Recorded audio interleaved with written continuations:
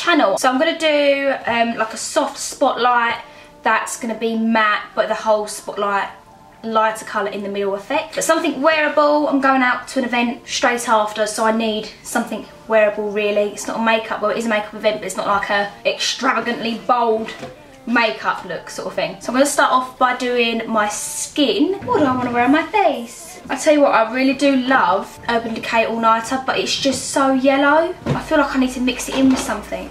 You know what, maybe I'll put on, these are the Iconic drops. So I'm going to use that just to make my face glow, I guess. And hopefully, where this is more warm orangey toned, more golden, this might, I say might very lightly, help me out with the foundation. So I'm going to use a sponge just to blend all that in.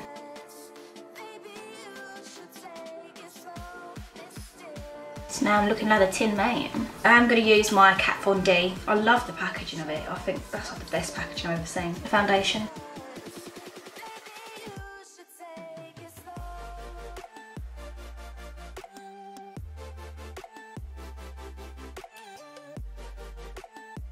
Good, so that's enough for the foundation. I'm going to go into concealer and use Collection Concealer. This is Collection Lasting Perfection. This one's in 3, which is basically my skin colour. So I'm going to use that as concealer. What concealer does as a job, conceals.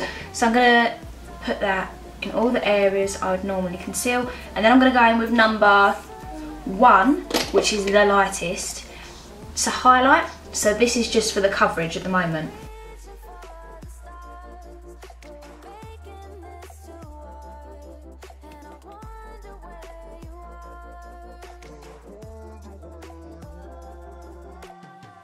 To set the skin, I'm going to use um, my favourite banana powder by NYX. This is a HD powder.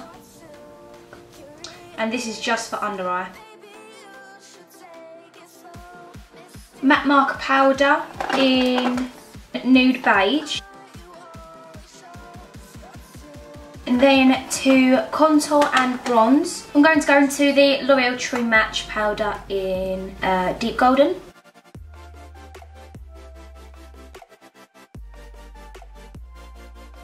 I'm going to bronze as well. This is the MAC Give Me Sun Bronzer, which is to warm up the entire look.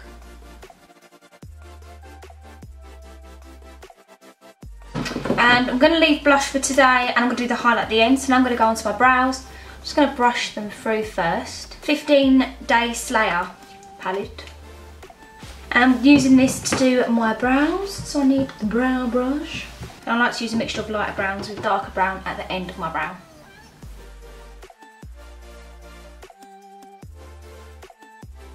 Fancied a longer brow today. Probably in both directions, so I'll bring it in a bit and make it longer that way.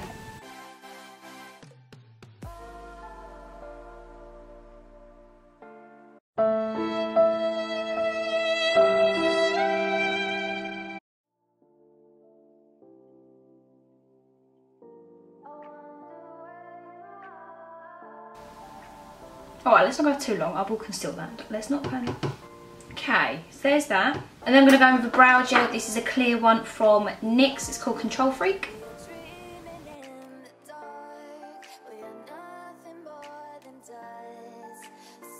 And I've brushed up all of my hairs there. Can't see any gaps right now that need to fill in. So I'm now just going to clean them up with some concealer.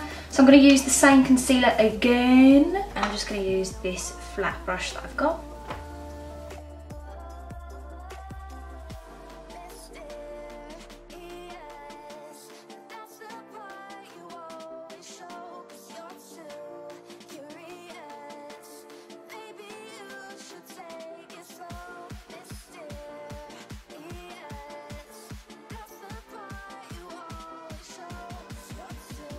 Mm-hmm, mm-hmm, mm-hmm, mm-hmm. So, now I can go on to the eyes. I'm just going to pat out the edges. I'm going to be using the Zoeva Matte Spectrum palette and I'm going to be using just the fluffy brush that I've got. So you want to start from the outside corner, go around the crease and do the inside corner as well.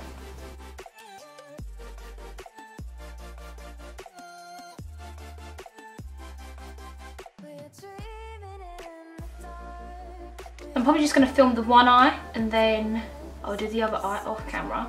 So there's the orange and then I'm going into, this is the NYX Love Conquers, no, Love Contours All. So I think this is actually contour palette but I use it for um, eyeshadows. I'm going to use that brown there and that's going same same parts you've just put it in previously just don't drag it out more than what you've dragged out the orange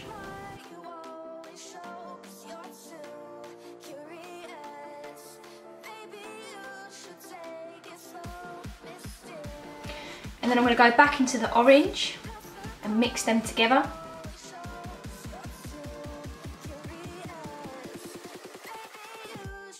And then I'm going to take a smaller brush, which is more pointed, so it's going to be more precise and pack more on. And I'm going to go into the dark brown in that palette.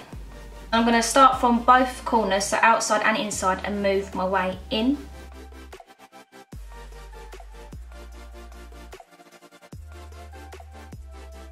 And I'm going to go through the crease a tiny amount. I don't want too much darkness there. And then blend.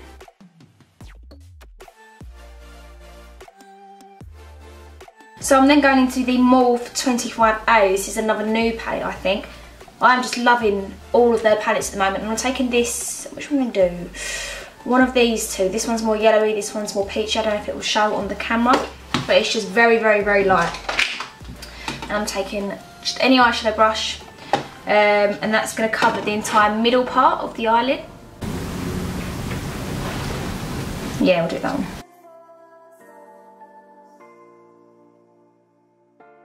and then that needs to be blended obviously so I'm going to go back into the smaller one and I'm going to take the orange to blend the edges just to blend that top bit I need a bit more of that colour in the middle to be a bit more prominent it's just a layering process and I'm going to go back into the brown the dark one because now you've got a lot of orange and you've got rid of some of the brown so you just need to layer everything back up so everything stands out again.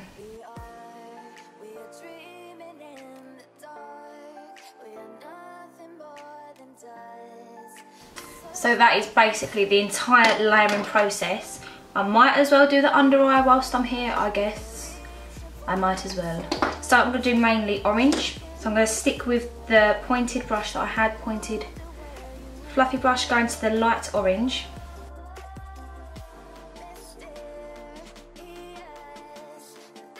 Here's the look on, so it's just orange underneath, and then I'm going to do, yeah, I'll do black in my waterline.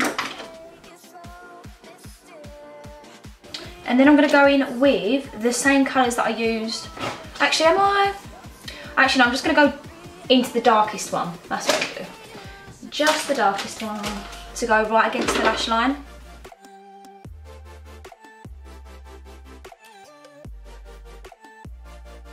So liner on top as well, I'm just going to do a single line. This is Rimmel Glam Eyes, the one that I always use every single time.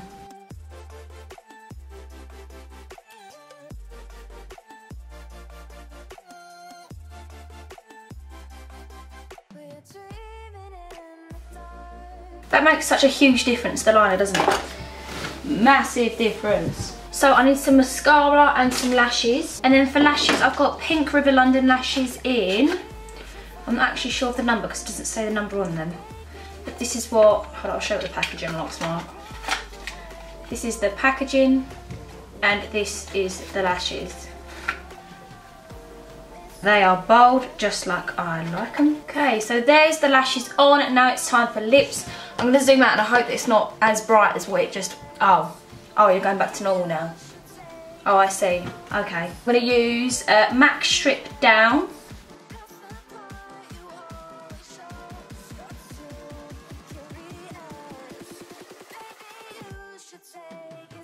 Okay, this is Charlotte Tilbury Nude Kate.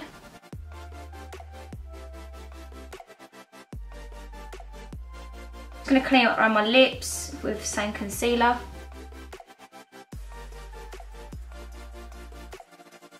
Urban Decay Afterglow Highlighter in Sin.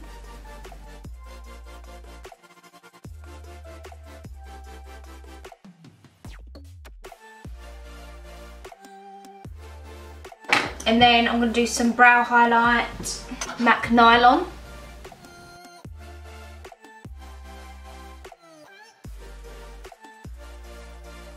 I'm just doing the inner highlight as well. That is the finished look. So this is the finished look. I hope you like it and I hope it helped you out in some way. It's very simple, it's pretty basic and only has a few colours and it's something that I think that everyone can definitely learn. If anything, this is a great one that looks like it's quite hard but it's actually not hard at all. It's also quite soft and smoky um, and yeah, it's quite nice for whenever really. I'm going to an event and it's still daytime and I think it's good for nighttime or people that want to get into makeup that's a bit more dramatic but don't know where to start really. I love the orange tones which is why that's always a good way to get into darker makeup because orange is in most makeup looks, like 80% of makeup looks, there'll be an orange in there. So if you enjoyed this video, then please thumbs up and subscribe, and I'll see you in my next video. Bye!